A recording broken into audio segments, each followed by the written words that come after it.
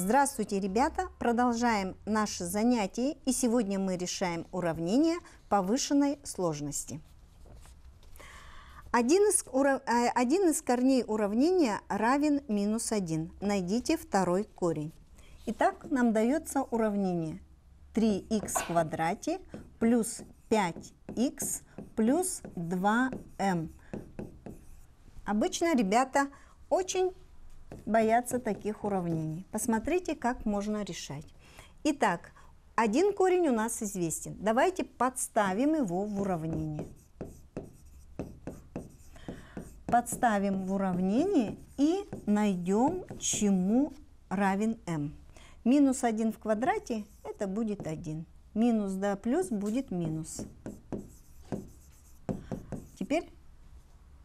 Посчитаем. Это будет минус 2 плюс 2m равняется нулю. Отсюда 2m равняется 2, m равняется единице.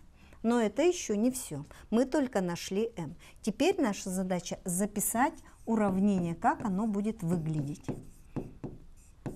2 умножить на, на 1 будет 2. То есть вместо 2, 2m будет просто 2. И теперь мы применять будем теорему Виета. Произведение корней дает мне 2 третьих, сумма корней дает мне минус 5 третьих. Посмотрим, а, посмотрим, какое а, равенство нам выгодно применять. Наверное, первое. Минус единица, умноженная на х, будет равняться 2 третьим. Тогда корень второй у нас будет равен минус 2 третьим. Следующее уравнение. х в кубе минус 3х в квадрате минус 8х плюс 24. Кубическое уравнение. Э, достаточно большое, его решаем способом группировки. Посмотрите, сгруппируем. Отсюда мы вынесем х квадрат а из этой суммы вынесем минус 8. Будет минус х минус 3. Внимательно посмотрите, и вы увидите, что у нас общим множителем уже является целое выражение. Будет х минус 3 умноженное на х в квадрате минус 8. Мы уже с вами встречались с такими уравнениями. Знаем, что мы можем приравнять к нулю каждый множитель. Перенесем 8 вправо и обратите внимание, что у нас здесь будет корень из 8 плюс-минус. Корень из 8 это есть 2 корней из 2. Итак, запишем ответ. Минус 2 корней из 2, 2 корней из 2 и 3. Следующее уравнение. х четвертой степени минус 5х в квадрате плюс 4 равняется нулю. Ребята, такого вида уравнений называются биквадратные. Введем переменную, обозначим х в квадрате за t. И у нас получается t в квадрате минус 5t плюс 4. Получается простое квадратное уравнение. Обычно ребята любят решать через дискриминант. Давайте решим через дискриминант. 25 минус 16 будет 9, а это есть 3 в квадрате. Итак, t первое берем с противоположным знаком 5 минус 3 пополам. 2 деленное на 2 будет единица.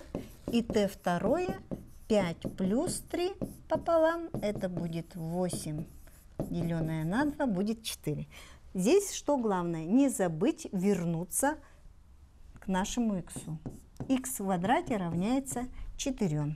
Тогда x будет равен плюс-минус 2 x в квадрате равняется единице, тогда x, x равен плюс-минус 1. Запишем ответ. В ответе у нас будет 4 корня. минус 2, минус 1, 1 и 2. На что вам надо обратить внимание? Обратите внимание, если бы мы нашли t, и у нас t получилось, допустим, минус 4, когда мы вернулись x квадрату и записали уравнение, у нас получилось x квадрате равно минус 4. Так как квадрат числа всегда должен быть положительный, а у нас получилось отрицательное число, то это уравнение не имеет корней. Бывают и такие уравнения. Следующее x плюс 2 в четвертой степени плюс 4x плюс 2 в квадрате минус 5 равно нулю. Обратите внимание, большое уравнение, но мы здесь видим, во-первых, четвертая степень, во-вторых, выражение одинаковый. То есть мы 2х в квадрате заменим t. Тут можно ввести сразу ограничение, потому что это достаточно большое выражение. Скажем, что t должно быть всегда больше либо равно нуля. И у нас уже получится простое такое квадратное уравнение, которое вы все можете, сможете решить. 16 минус 4 на минус 5, 16 плюс 20, это будет 36. 36 это 6 в квадрате. Т первое минус 4 минус 6 пополам будет минус 10 пополам, это будет минус 5. И t второе минус 4 плюс 6 пополам. 6, 2, в квад... 2 деленное на 2 будет единица. Обратите внимание, вот здесь у нас получился отрицательный корень. А мы ввели с вами условие, чтобы t всегда было больше либо равно нуля. Здесь можно записать не удовлетворяет условию какому t больше нуля. И уже его не рассматривать. Так. У нас x плюс 2 в квадрате равняется единице.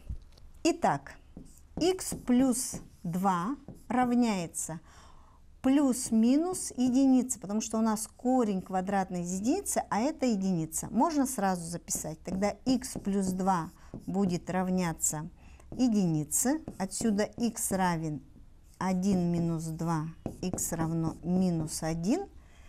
И x плюс 2 равняется минус единице, x будет равняться минус 1 минус 2, то есть x равен минус 3.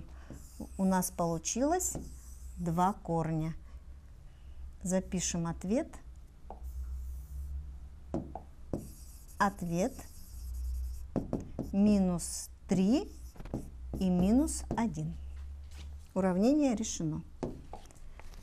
Следующее.